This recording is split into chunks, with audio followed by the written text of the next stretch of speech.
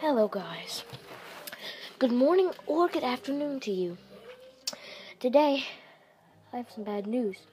Been looking through YouTube like a normal day, and I watch Funnel Vision. That's what I watch. And as you know, the solar eclipses happened, once in a lifetime experience, and Funnel Vision experienced it. Now, they made a video about it like any ordinary channel would. But the results were unexpected. Here, take a look. Why'd you take them off? I don't know. Let me see. Oh my god, yo. Alright. What do we do? So as you could see, Michael apparently got blind. Cannot believe it. That is crazy. And that's why I'm here today to try to give you evidence that it's real or fake. By the end of this video, we'll have a result, and I will have been determined is it real or is it fake? Keep in mind, before we start this evidence based video, the final result is completely my opinion based on all the details I've gathered up. If you have a different opinion, feel free to comment it. Just letting you know. Alright, so it starts out as a normal video. A normal Welding glasses. vlog that you'd see on FGTeeV, right?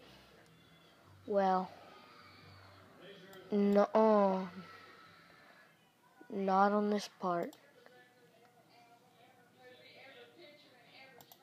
I can't see anything. It's away from totality. Ugh. And it's still bright out here. It's crazy. It's like uh, completely covers. That is so on now. It's bright out. Okay, so we can expecting it to see. This cool. Look, watch Michael. Um, but He's looking straight know, at it. just- this was just really amazing. Hopefully saw that? You guys got Did you see that? He clearly was looking straight at it without glasses. Clearly. One evidence that this could be real. Next detail, we could see he's actually crying. I, feel kind of guilty.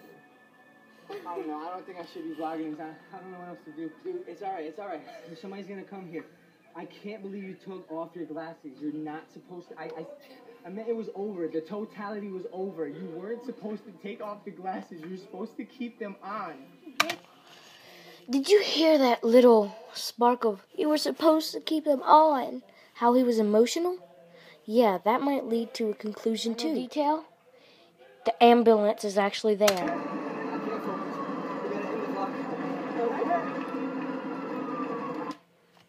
So, in conclusion, with all the details I've gathered, putting them all together piece by piece, do I think this is real? Sadly but truly, I don't think they would lie to their loyal fans. I think Michael is not faking. Now remember, my opinion based off of my evidence. I'll see you in the next video. One like equals one prayer for Michael.